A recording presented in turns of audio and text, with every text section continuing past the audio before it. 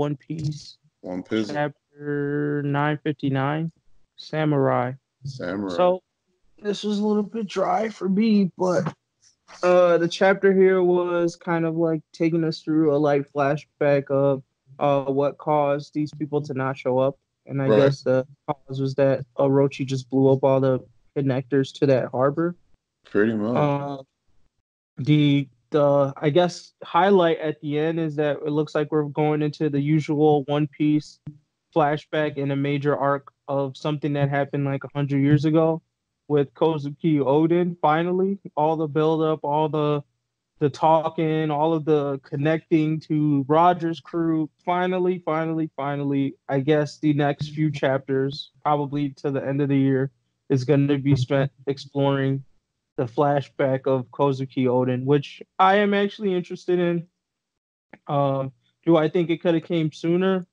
Yeah, I think they probably could have lined all this other shit up way sooner. But hopefully, what it does mean though is after this flashback part is done, Oda will have finally got his mind right into how he wants the final fight of Ma- Wano to move, and we'll just Mm. jump straight into that because I'm not really. I would say like I thought Whole Cake was bad, but at least Whole Cake was seasoned with um enough hype and enough fights. The only thing that sucked is just Sanji didn't get shine, but I feel like there was enough of like action going on to push me through Whole Cake. What I feel like Wano suffers from is it's the arc that you want the most action in, and it seems to have so many lulls of like unnecessary story that I'm just like this doesn't add to anything right now. Like a lot of the Luffy fights, like that Holdem stuff in the beginning, the sumo stuff, like none of it added to anything. like it wasn't callbacks anything. Like there was a couple of moments, yeah, like all the stuff outside the story, but uh I felt like everything that I saw with Luffy in this arc was totally not needed. Hmm. Um, that's uh, for that exact point. I think that's actually. I, I actually, I actually gonna disagree with you a little bit. Um, I think like a normal formula that kind of happens with One Piece is that when they introduce like to a new land, um, Luffy does some dumb ish and like pretty much makes a ruckus, makes like a loud noise, and like ish like immediately gets real. Where then they get introduced to the um, uh, we'll call it the the rebellion or like the the couple of characters that ain't about what's happening in society at the moment. Then they start to get like a small following, and then they finally fight back. In this Mhm. case, like like the large noise was effing with Holdem, effing with the big sumo, saying like, okay, there's a new player on the scene, causing a ruckus yet again via Luffy style, and uh, then he gets hooked up with um, what's her face, um, Otoko, and then like get mm-hmm. introduced to like you know like the the the poor villages, et cetera, et cetera, and then he finds out what's really going down in Wano. So I think there's still they still technically use that formula going on. The biggest problem though with how they did it is simply how big of a deal this country Wano is in respect to the entire world period because Kaido been effing with it and like uh, Kozuki Oden was a part of a Gold Roger squad, et cetera, et cetera. And then not Yeah. to mention like the war that's going to happen, that's going to be like the biggest war One Piece has ever seen. The, the biggest problem with this is just like the actual scale of it all, that they probably Yeah. should have flipped up the normal formula even like a little bit to accommodate for that. But I don't really think they did. So it's just not fitting right. Um, but uh, you know, as far as this chapter goes, I was a little, it was a little eh. I mean, like I, I had a feeling that like something like this was gonna be the reason why they couldn't meet up. I know it wasn't gonna be like super serial or like any hardcore like background fights or anything like that was really gonna Right. happen. It was all just uh oh like they're gonna you know like That be actually would have been colder though, to be honest. Wait, say like I said that actually would have been a colder excuse to be honest if he just dropped like big guns at each of like the people who's trying to come to the harbor's location. So like he was like, "Oh bam, I'm gonna drop the numbers over here for these niggas," or I'm gonna send like Queen over here for these niggas. Like that, I felt like would have added to the hype. Um, and then I don't know, been a great cliffhanger to go into the other arc. But with this one, I was just like, oh, that's a goofy plan. I mean, it worked, but it just wasn't like special. Like, I just like, oh, okay, sure. So he blew up all the bridges. Like, I, I don't know. It just you don't have to be smart in One Piece. That's that's what I thought as I was thinking. just like that. Nothing about that plan was inventive, and the guy who, like, the people who thought, because uh, I forget one of the panels, like one of the people blowing up the bridge goes like, "Why the fuck are we even doing this? This seems stupid." Like that guy should be killed on the spot. Like I felt like that was like the dumbest question you could ask in an already dumb plan. Like it was very straightforward. Just blow this shit up. I think there's a rebellion happening. Like the fact that you even had to convince people that weren't even affected by blowing up those bridges to just blow them up like that part bothered me that he would ask that question. I just felt like somebody should have sniped that dude on the spot. Like nothing about was, was like, oh my god, this is so smart. Like just uh, like no, let's stop them from getting to this place that I think they're probably trying to go to. Yeah. No, well, yeah. just thought that shit was goofy. I was just like, what the fuck? Did I really just read him say that? Yeah. Yeah, I mean, like Oden, I guess is smart. I mean, by One Piece standards, like you don't need that much strategy. So, I guess this was a smart plan. But, um, like I said, I think I'm more ready for this flashback because I'm so bored with what is going yeah. on with Wano. Because I I knew it was coming. We all know it's coming. This happens in every arc. Um, yeah. But I actually didn't care for it as much in Whole Cake uh, but I, I definitely am excited for it now, and I think it's just because Oden has a lot of hype built behind him. But I'm also, I know how these flashback goes, and I feel like he's gonna end up. Mm, you could already see how they layered the goofiness. You know what I mean? Mm. And because like in the last panel, they um talk about like, oh, here's the um, I forgot what they called them exactly, but they were like, here's the the fuck is it? I'm pulling it up right now. Oh, what uh oh overbearing man? Is that what you mean? Um Yeah. Uh like, he's what? he's failed yet another uh voyage. Die already, you good for nothing. So you already see like he's he's getting like the typical like I don't know, one piece stamp of heroicness. I don't know what you call it, but you know how all of the lovable characters are usually like just people that get shitted on in their hometowns or something for some reason. Oh, so I, I just feel like he's getting that kind of vibe. Yeah, the kind of underdog. He's trying to accomplish some goal that pretty much seems impossible at the time, but then he finally yeah. does it and then gets respect of everybody. Kind of like right. that. Yeah, everyone thinks he's some type of kook, but he's actually like super courageous and inventive and shit like that. But I just hope they don't which tells me that I think he's gonna be like goofy, and I just hope that he's not because they just put too much respect on his name with the two blades and all this other stuff. So like I'm I'm hoping he has the hands. The other thing that I thought was nice that they brought up was the Sulong thing. Um, it was a little bit disappointing because I felt like they're also saying like you're never seeing that from these niggas right now. I was like low key like yes, if if a dog buddy pulled out Sulong form, like I was just thinking, I was like, I don't even know why this didn't come to my head in whole cake, but I was just like, if dog and cat buddy had Sulong form, uh, when Jack attacked, he wouldn't have made it off that island. I don't think, personally, because they were already able to keep him at bay for ten days, and that Sulong would have upped their power. Like I don't even know like how least, many. At least double pretty much. Yeah, yeah. So they would have, and then both of them at that double type form. Yeah, I don't think Jack would have left that island alive. No, but, no joke. Like I like when they when they mentioned it in this chapter, I was like, "Oh, Dick, you're right." Like, like they're gonna actually have like some pretty strong mother effing soldiers going down. Like, it's gonna right. be pretty lit. I'm um, hoping that like what would have been nice, like, because I'm still on the chopper, um, is gonna learn something from a meek theory uh, is going to oh. learn something from the Minx theory. I, it would be nice if Chopper was able to invent something similar or somehow use his rumble balls to do that. Like and and I mean to help in this war more than just for his personal thing. Like I, it would be nice if he was able to go like, oh, I created something that's similar to like a fake blood moon that will be able to have these people use their like Sulong form, but maybe only for like a minute or two. You know the two the typical Chopper limitations. Yeah, yeah. Or he made like a modified Rumble Ball that helps him and like a few of the minks to unlock this um Sulong form. Yeah, but I, from what I've seen in this arc, it doesn't look like they were mm, helping him prepare that at all.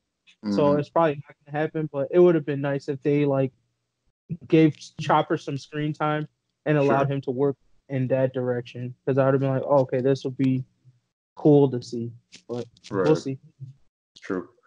I mean, like low key, they could have even. Um, I mean, it, it depends on how technical.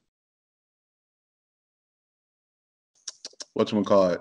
Kind of like DBGT, where like they would make some kind of like Usopp or like Franky make some kind of machine that like uh, the M's could even look at and like and still get like triggered the same way that the moon would trigger them to get Sulong form. So okay. I mean, like, yeah, I definitely think there's options there to try and uh, utilize their Sulong form whenever they feel. Um, it would just depend on when, I suppose. But um, yeah. uh, oh, uh, the last note, at least I wanted to make regarding um, the whole blowing up the bridges thing. I think that their mentioning of Jinbei pretty much hinted that Jinbei is going to be the one that brings them all together via water-ish somehow. You know what I mean? Oh shit. So I think Jinbei's going to be like, bruh, like I can literally f around with water however I want. Like what y'all want to do? Walk on the seafloor? All right, I got you. Like you know, like something I don't know, something like OP, like, like deliver the whole squad pretty much to the island, and then they start boxing. Yeah. That would be but, solid. Uh, I would. I mean, it would be good for the feels part. I don't care as much about the whole Jinbei being left on whole cake. I knew he wasn't gonna die, but um. I think for those people who care about those feels, that'll definitely be a good like way to like ease him back in. And then after this war is over, that would 100% mean that um he's official in the crew. Which, if you want to call Whole Cake and Wano one arc, um, or if you want to call like Fishman to Wano one saga, that would like be a nice tie up, like a nice tie on the bow for like the saga. It's just like Jinbei joins at the end.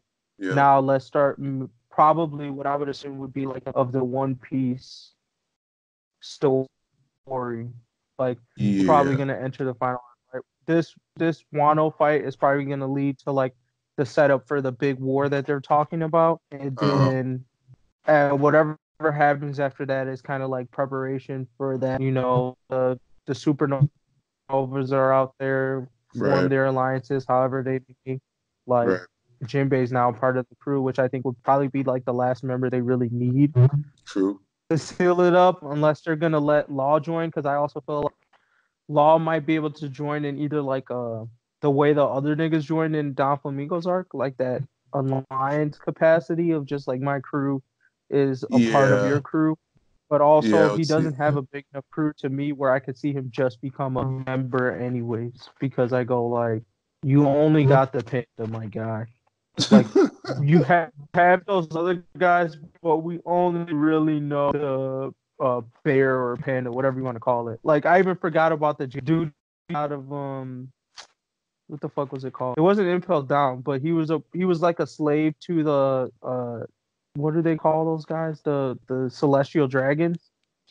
That one guy uh, with the uh, big oh oh like the really the like the the the giant almost. Um, yeah, yeah. He had him join his squad, but like we forgot about him after that arc. So it's like really his only crew member is that panda. Like that would be the only person I feel like, oh, what are they gonna do about the panda? That's the only person I think about when it comes to like dissolving the heart pirates. Yeah. After that, I don't really care. Like even same thing with Kids Crew right now. Like it's just that he probably has enough niggas where it would be odd to break up his crew because I think he has a big enough ship. But like Law, no, bro. There's like five niggas on his crew total. Like if he no. wanted to just say fuck it and join, the straw hats, he could. Yeah, I mean, like homie ship was literally a submarine.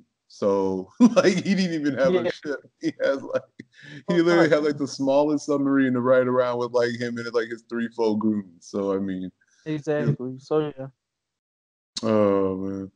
But no, um, I mean Kid actually that, that that's a good point for you to mention though. I mean, Kid. I mean, from what I from what I remember, I mean, Kid Squad pretty much got like annihilated, or at least like you know after the betrayal of the team up. So I don't even think Kid really even has a squad anymore. At least not really, unless he just like after after all this is over, he just gains some you know some random kids to start up his ish again. But I think like him and Killer are like really the only official members to his squad right now too.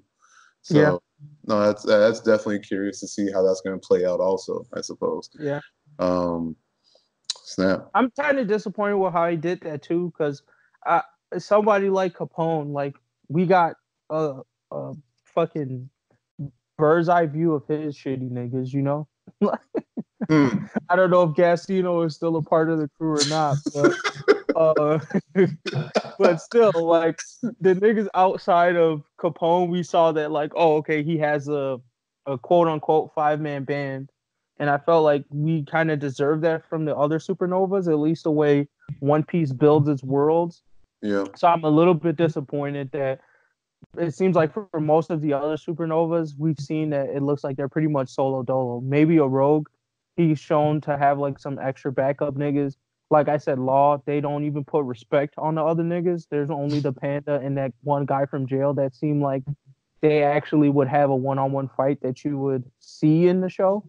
Mm-hmm. And then everyone else seems to have like that one, and maybe they showed you their second who looks different and then everyone else is just like regularly drawn people in their crew, which I'm kind of like, I I wish you guys had more of a build like Luffy's crew did. Mm.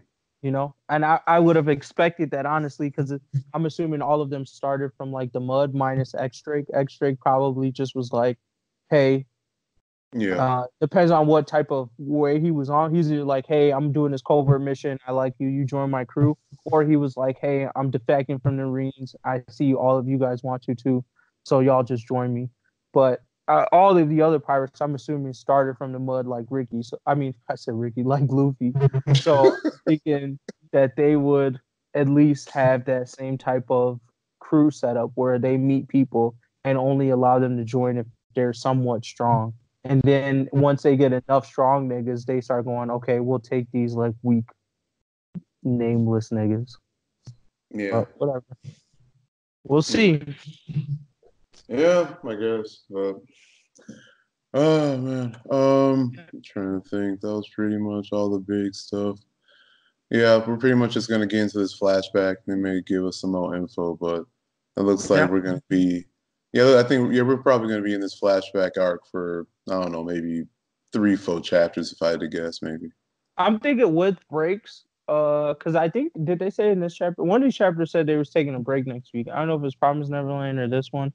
Uh, it was it was definitely Promise Neverland. I don't think uh, I don't think there's any others, but Promise Neverland they're not going to be in the next issue. Yeah, but given breaks, holidays, I felt like we're we're gonna be stuck in this flashback until the end of the year. That's oh, my oh, thought. So. Just, oh. I it's probably gonna be a couple of breaks season in there, Golden Week, mm. boom. It'll be next year already, and then Damn. that's crazy. We'll be on to the final battle to end off to start off 2020, and we'll see how good that goes. yeah. I mean, it's just they're just hyping it up and they're building it up to be just so large. It's just curious where they're going to actually shine all the light. So right, I agree. But all right, well, I'm ready to rate this one. I probably yeah, give yeah. it. Mm, I probably give this like mm, maybe a decent trash plus. I don't think the bridge plan was anything special. I'm semi hyped for the the flashback just because I feel like everything has been just pulling me along with One Piece.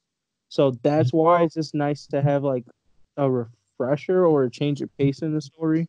Mm. Um, because they're just like he, Oda's just like splashing dots on all of the other side things and that aren't related to Wano but related to Wano, like the reverie and stuff. So Uh, I would just give it a decent trash plus. Uh, the chapter itself wasn't that great, and you can see by the review we talked about a bunch of shit that really wasn't related to the chapter. Um, yeah, you're right. And then the part with Oden, I'm excited about, but obviously I didn't get enough of it in the end of this chapter to mm-hmm. really have it change the rating that much. Mm-hmm. Um, yeah, I'll um, I'll give it a slightly higher rating. I'll give it um, I'll give it a decent minus for the simple fact that I did it's like it's like I was kind of expecting a lame plan like this after they were saying, uh, you know, like something happened. So it's not like I was exactly disappointed since my uh, my hopes weren't that high in the first place. Um, I was interested to see Slash kind of like forgot about Jinbei and him like the possibility of him joining the war. It's good. I, have always been like um, a Jinbei fan. He's always been like a cool guy to me um, as uh, them also including about like the moon for the Sulong. I think that's gonna be dope uh, to see like uh, like the Mink tribe. So I got a little bit of hype about that one. Um, and then uh, the Kozuki Oden arc start. I mean, not Kozuki Oden arc, but like the flashback. Um, I feel like that's going to be interesting too. So it's more of a there, there, there's just like a slight hype build up for me, coupled with the fact that you know, wasn't really disappointed because I saw it coming. So, like, I won't call it exactly decent trash, but I'll, I'll give it a decent minus. So.